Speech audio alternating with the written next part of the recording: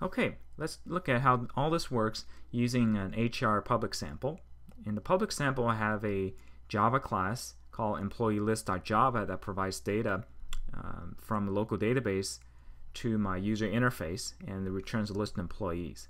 Within the constructor for the class, I inserted three different ways that you can log a message.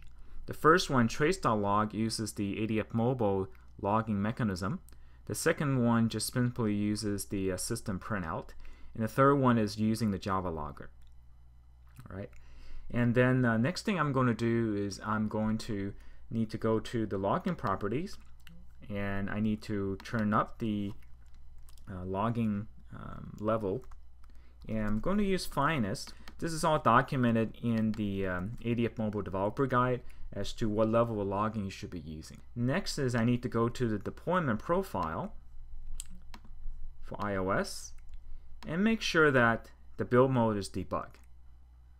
Alright. Now, one last thing is I need to go to build and do a clean all. I, if I do previous deployment, there will be um, temporary Xcode project artifacts laying around, so I need to remove those and make sure it's clean. Now I can go and deploy the application and I need to deploy to a distribution package. It's very important that you, you pick distribution, distributing to package. Uh, if you deploy, for example, to a, a, simulator and then generate the Xcode project based on that, that Xcode project will not be able to deploy to an actual device. Okay, that's it. Okay, let's go to Finder and see where the files gets generated. This HR folder is my JDeveloper workspace for this application. It's under the deploy directory and then under my deployment profile folder there's a temporary Xcode project. Underneath that there's a file uh, with the Xcode project extension so I can simply just open that. And there's a couple things I need to uh, make sure. The first thing I need to do actually is to make sure I'm using the latest version of Xcode. At this time, it's 4.6.2. The reason is that so it properly recognizes the iOS device is running the latest iOS um, operating system. At this point in time, Xcode 4.5 is officially certified. However, Xcode 4.6.2 is also supported. Okay, the first thing I'm going to do is I'm going to verify a few settings in Xcode.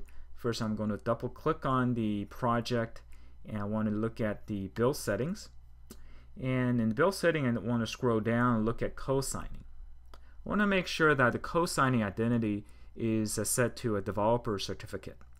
In order to do that, you of course need to have the developer certificate installed to the keychain.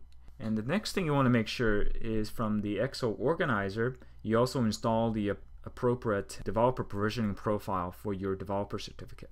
Okay, next I'm going to edit my, go to product scheme and edit scheme, uh, basically edit my build scheme. I'm going to add argument to the run scheme. And uh, what I want to do is I want to redirect logging output from a log file into my Xcode console. This will help me to more easily find the message I want to get to and do debugging. Now I'm going to plug my iPhone in and uh, display it on my screen through AirPlay. Put this on the side and then I'm going to go back to Xcode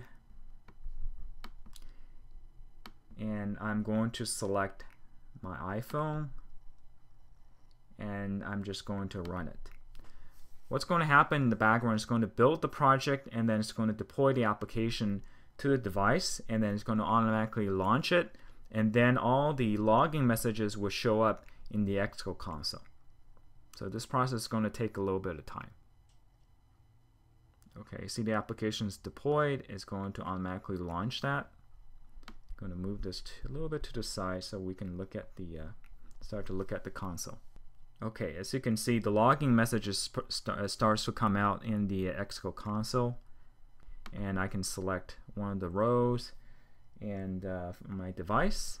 Now, the way I can find specific entries in the um, log is by going to Edit, Find, and click Find. then I just can type anything in. I think I uh, wanted the log message I had um, print out. So as you can see, these three were the log messages that we added to the um, to the code. Okay, next I'm going to show you a neat trick in actually looking at and then downloading the file content associated with the application by going to Windows and bring up the Xcode organizer. Typically on iOS devices, it's really difficult to look at the files associated with the application within the application sandbox. However, if the application is compiled debug mode and is running on my phone, I can actually look at all these files that's associated with the application. For example, all these bitmaps in the documents folder, the connection.xml, and also the temporary folder. Right. Another neat trick is you can actually download that file onto your Mac and then um, analyze the files. So I'm going to click on that. Go to my desktop and find ADF Mobile Debug. And here's my file. Now, to look at the content, I would control click on the entry and say show package contents. That shows you all of the application data, including all the documents and bitmaps and also, since this application uses a local database, you can also look at the local database generated from here. And you can use any SQLite through utility to open up this hr.db database if it's not encrypted. If it's encrypted, then you need to use the um, password to decrypt it. That's it.